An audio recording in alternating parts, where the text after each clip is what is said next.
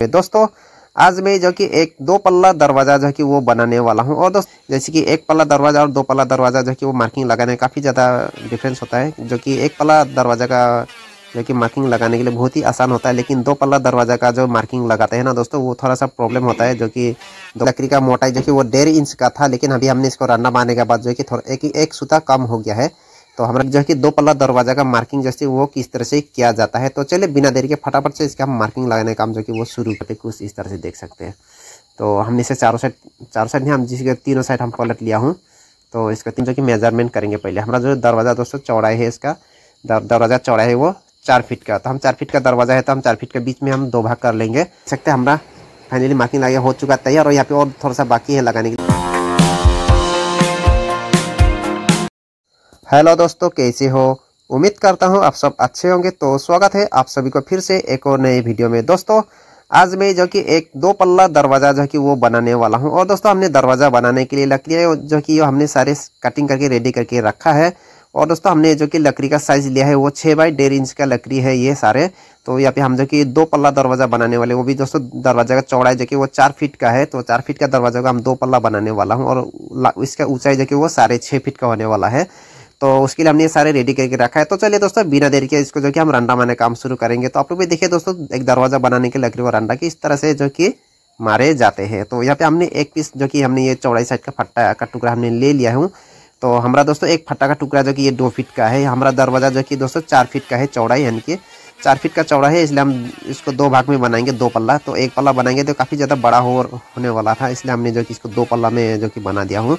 तो उसके लिए हमने ये लकड़ी जो कि अभी रंडा मारने काम शुरू कर रहा तो आप लोग भी देखिए दोस्तों एक दरवाज़ा बनाने के लिए जो कि लकड़ियों को किस तरह से रंडा मारे जाते हैं। और दोस्तों और रंडा मार लेने के बाद जो कि इसका साइज़ भी हम किस तरह से करते हैं वो भी दिखाएँगे। और साथ में हम इसके जो कि मार्किंग किस तरह से किया जाता है वो भी हम दिखाएँगे। तो दोस्तों ए, जैसे कि एक पल्ला दरवाज़ा और दो पल्ला दरवाज़ा जो कि वो मार्किंग लगाने काफ़ी ज़्यादा डिफरेंस होता है जो कि एक पल्ला दरवाज़ा का जो कि मार्किंग लगाने के लिए बहुत ही आसान होता है, लेकिन दो पल्ला दरवाज़ा का जो मार्किंग लगाते हैं ना दोस्तों, वो थोड़ा सा प्रॉब्लम होता है, जो कि दो पल्ला दरवाज़ा का जो कि बीच में रबिट कटिंग करना होता है तो उसके लिए जो कि दो पल्ला दरवाज़ा का मार्किंग लगाने के लिए थोड़ा सा परेशानी होता है, इतनी जो आसानी से जो कि मार्किंग लगा नहीं सकते हैं।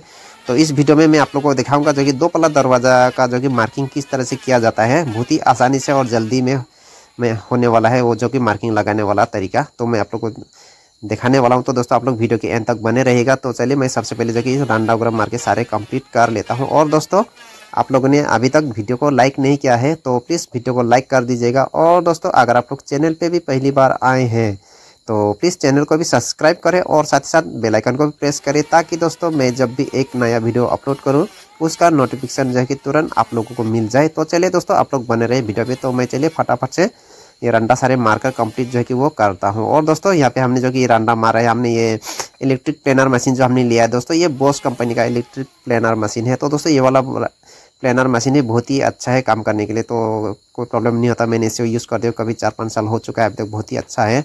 दोस्तों, हमने एक चौड़े पीस का बटन जो कि हमने वो हमने मारकर एक रेडी कर लिया। हमने सिर्फ़ अभी उसको दो साइड मारा है, हमने उसको साइज़ किया नहीं है। तो हम क्या है कि दोस्तों, सारी लकड़ियों को पहले दो साइड मारकर हम कंप्लीट कर लेंगे, फिर उसके बाद ही हम इसके साइज़ करने वाले हैं। तो हम इसको, इस लकड़ी को तीन साइड ही रन्ना मारेंगे दोस्तों, चार साइड में हम नहीं मारेंगे, क्योंकि चार साइड में नहीं मारेंगे, इस क्योंकि इसका हम बाद में जब इस दरवाज़ा को कब बनाकर कंप्लीट करके जब चौकाट पर फिटिंग करने ले जाएँगे, तभी दोस्तों उसके साइज़ का जो कि हम मार्किंग लगा के उसको कटिंग करके, जो कि अलग करने वाला हूँ, इसलिए हम उसको साइड में रांडा नहीं मारेंगे, क्योंकि हम सिर्फ़ तीन साइड ही मारेंगे। और दोस्तों, ये हमने जो ये छः बाई डेढ़ इंच का ये हमारा लंबाई बटम है तो ये थोड़ा सा बैंड है दोस्तों, देख सकते हैं आप यहाँ पे।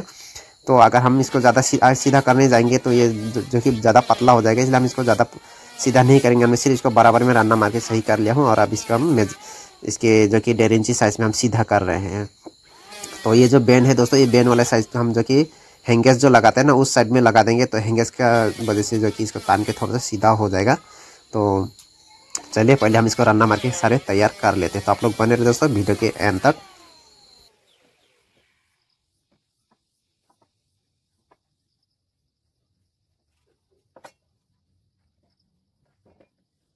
दोस्तों, जैसे कि आप देख सकते हैं, हमने जो कि दरवाज़ा पल्ला बनाने के लिए जो कि लकड़ियाँ सारे हमने दो साइड रन्ना मार के तैयार कर लिया हूँ। तो अब इसको जो कि साइज़ करने का काम जो कि वो रह गया है।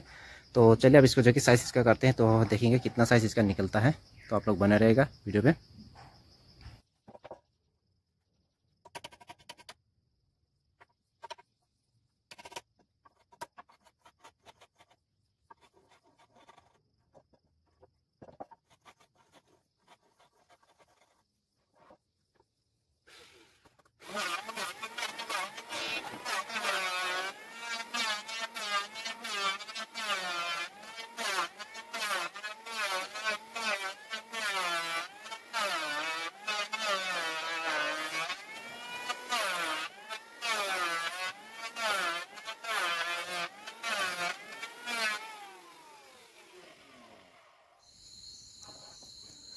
दोस्तों, जैसे कि आप देख सकते हैं, हमने फाइनली जो कि दरवाज़ा, जो पल्ला बनाने के लकड़ियाँ सारे हमने रन्ना मार के इसको साइज़ करके जो कि पूरी तरह से कंप्लीट कर लिया है। दोस्तों, हमारा ये लकड़ी का मोटाई जो कि वो डेढ़ इंच का था, लेकिन अभी हमने इसको रन्ना मारने के बाद जो कि थोड़ा एक एक सूता कम हो गया है।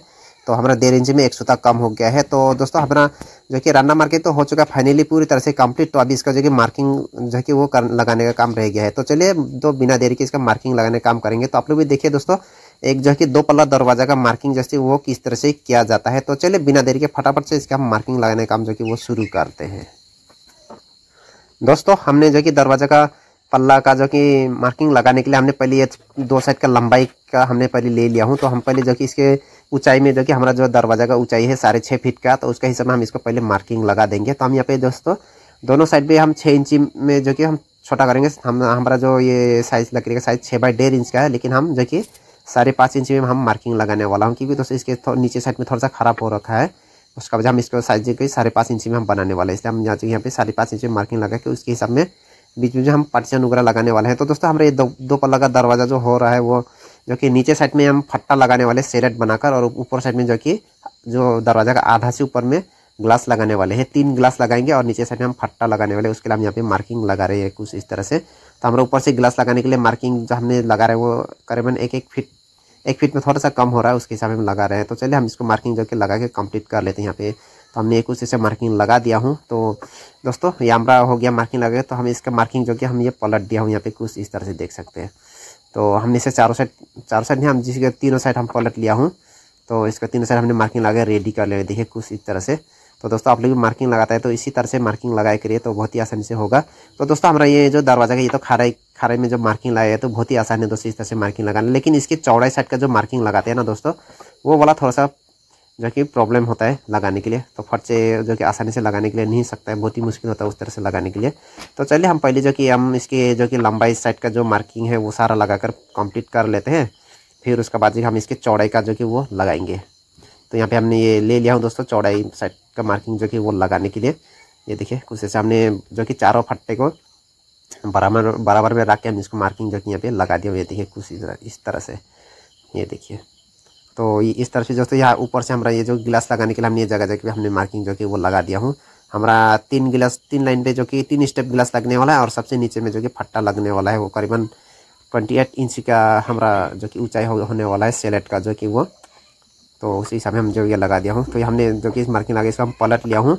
तो हमने जो से मार्किंग लगा सारे हो चुके हैं रेडी तो हम इसका जो कि मार्किंग पलट लिया हूँ। तो अभी इसके बाद जो कि हम इसके चौड़ाई साइड के मार्किंग लगाएँगे। तो दोस्तों, हम चौड़ाई साइड का मार्किंग जो कि वो किस तरह से लगाते हैं, वो हम दिखाएँगे। तो यहाँ पे फाइनली देख सकते हैं, हमने जो कि दोनों, दो पला दरवाज़ा के लिए जो कि लंबाई वाला ऊंचाई का, सारे छः फीट का मार्किंग जो कि हमने लगाकर फाइनली पूरा से कंप्लीट कर लिया है। और अभी यहाँ पे देख सकते हैं, ये हमने चौड़े वाला फट्टा यहाँ पे रखा हुआ है। तो चलिए, अब चौड़े वाला फट्टा को किस तरह से मार्किंग किया जाता है तो वो मैं आप लोग को दिखाऊँगा।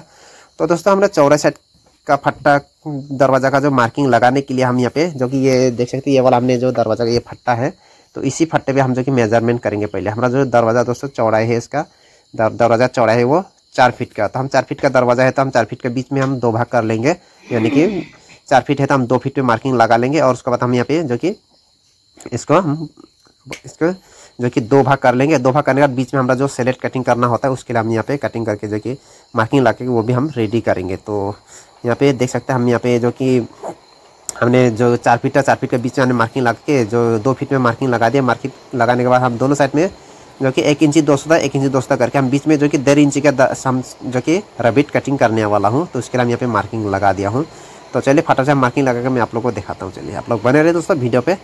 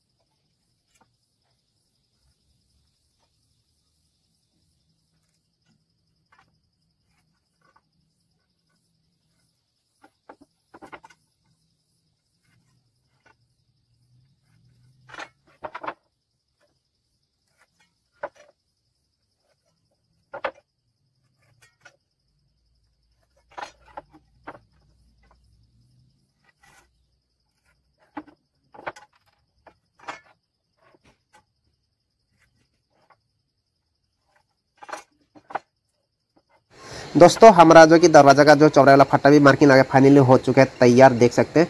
तो हमने दोस्तों, यहाँ पे देख सकते हैं, हमने इस कोने से लेके उस कोने तक हमने दो फीट, चार फीट में निशान जो लगाया था मार्किंग तो उसके हम यहाँ पे बीच में दो भाग करके हमने दो फीट का जो ये बीच वाला निशान है, इसमें हमने जो कि दो फीट में मार्किंग लगाया था और हमने दोनों साइड जो कि एक इंची में दोस्तों कम करके दोनों साइड हमने जो कि डेढ़ इंची में मार्किंग लगा दिया हूँ।